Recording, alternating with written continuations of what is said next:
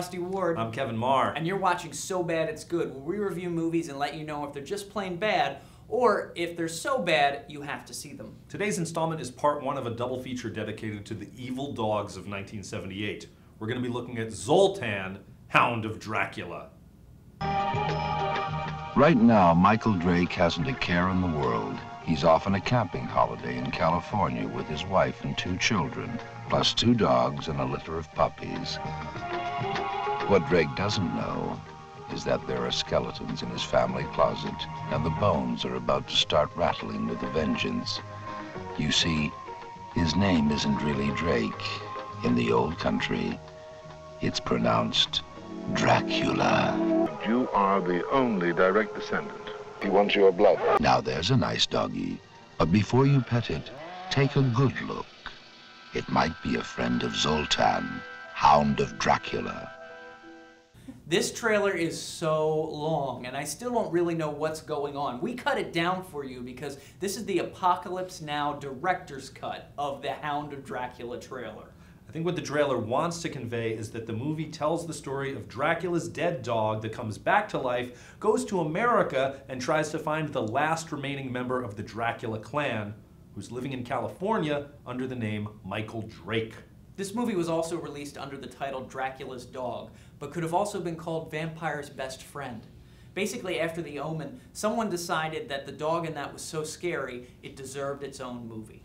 The film also answers the age old question can dogs become vampires?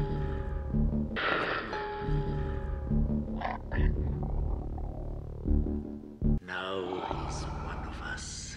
As well as, can dogs have flashbacks?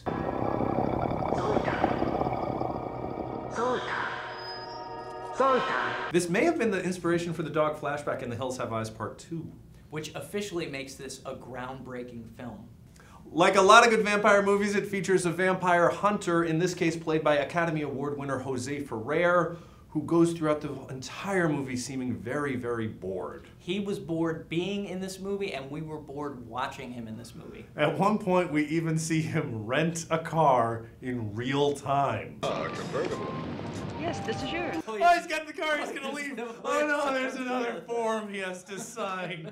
Will you sign right here, please? Be happy to. The DVD has deleted scenes of him picking out socks. Another character in the film is Dracula's assistant, who helps Zoltan find Dracula's descendant. And this guy is one of the scariest actors I've ever seen in film. He's so scary that they padded the film with five minutes of his face.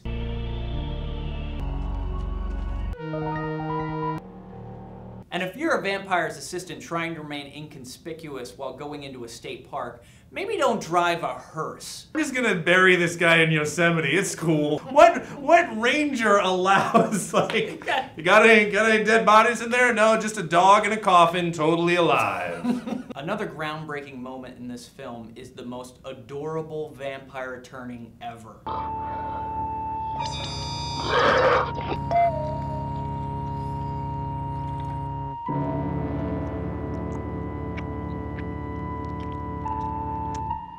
And then, as if it couldn't get any cuter, they bury the dead puppy only to have it crawl out of the grave. If only the rest of the movie were that exciting. Uh, this has been called the worst Dracula movie ever made. I wouldn't go that far, but I wouldn't recommend it either. Rusty, what do you think? Well, it doesn't make me angry like the Twilight movies do, so I can't say it's the worst Dracula movie ever, but it's not very good, and other than a few scenes, not really a lot of fun. These puppies.